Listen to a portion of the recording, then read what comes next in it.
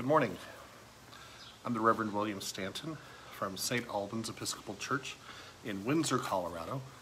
And we're continuing with our, it's a little sunny, uh, we're continuing with our Praying the Psalter, uh, our journey through the Psalms.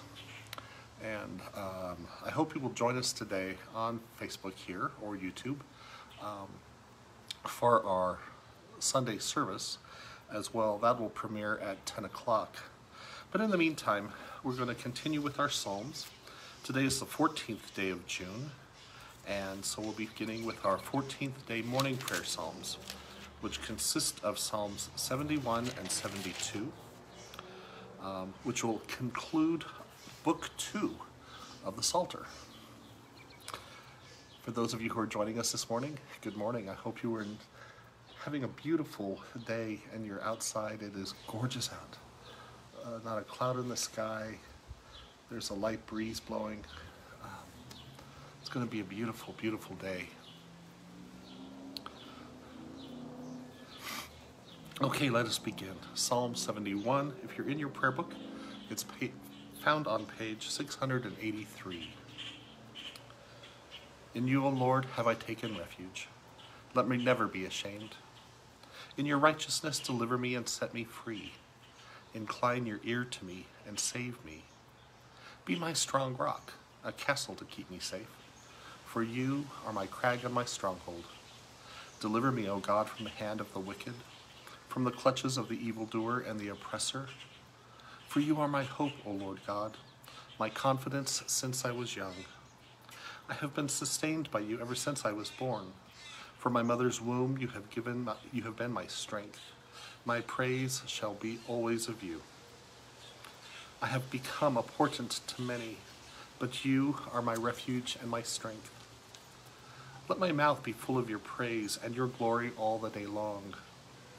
Do not cast me off in my old age. Forsake me not when my strength fails.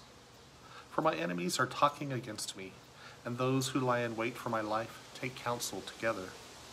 They say, God has forsaken him.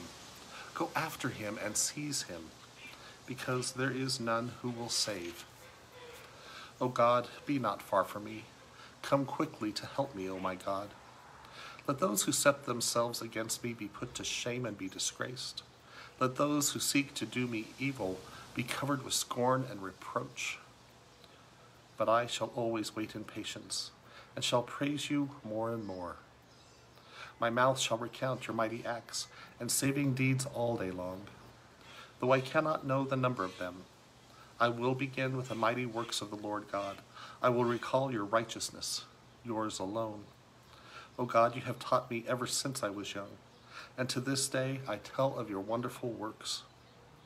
And now that I am old and gray-headed, O God, do not forsake me, till I make known your strength to this generation, and your power to all who are to come. Your righteousness, O God, reaches to the heavens.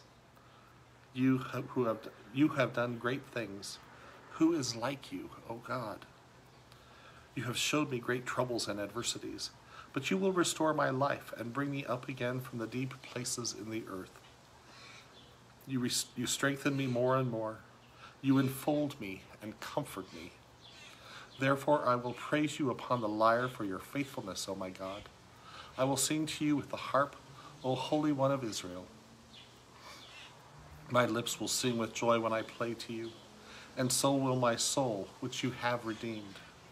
My tongue will proclaim your righteousness all the day long, for they are ashamed and disgraced who sought to do me harm. Psalm 72 Give the king your justice, O God, and your righteousness to the king's son, that he may rule your people righteously and the poor with justice, that the mountains may bring prosperity to the people, and the little hills bring righteousness. He shall defend the needy among the people. He shall rescue the poor and crush the oppressor. He shall live as long as the sun and moon endure, from one generation to another. He shall come down like rain upon the mown field like showers that water the earth. In his time shall the righteous flourish. There shall be abundance of peace till the moon shall be no more. He shall rule from sea to sea, and from the river to the ends of the earth. His foes shall bow down before him, and his enemy, enemies lick the dust. The kings of Tarshish and the isles shall be the kings of Tarshish and the isles shall pay tribute, and the kings of Arabia and Saba offer gifts. All kings shall bow down before him, and all the nations do him service. For he shall deliver the poor who cries out in distress, and the oppressed who has no helper. He shall have pity on the lowly and poor. He shall preserve the lives of the needy. He shall redeem their lives from, the, from oppression and violence, and dear shall their blood be in his sight. Long may he live, and may there be given him gold from Arabia. May, may, may prayers be made for him always, and may they bless him all the day long. May there be abundance of grain on the earth, growing thick even on the hilltops. May its fruit flourish like Lebanon, and its grain like grass upon the earth. May his name remain forever and ever, and be established as long as the sun endures. May all the nations bless themselves in him, and call him blessed. Blessed be the Lord God, the God of Israel, who alone does wondrous deeds.